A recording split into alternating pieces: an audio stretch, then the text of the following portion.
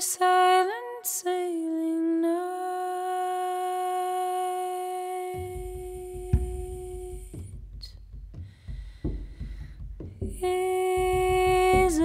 Isobel, wildwood's eyes and primrose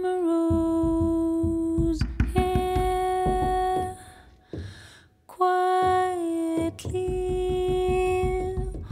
all the woods so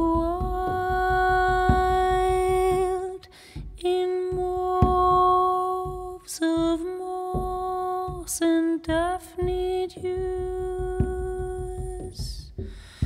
Oh, so still she lay neath the white thorn, child of tree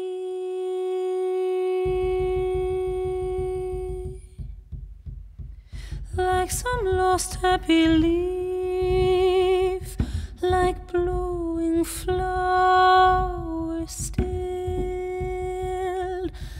as fain would she anon, for soon again 'twill be when me, woo me, wed me, oh, weary me deeply.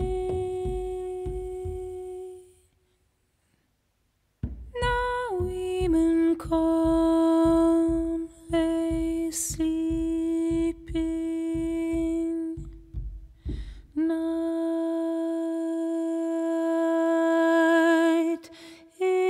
Isobel,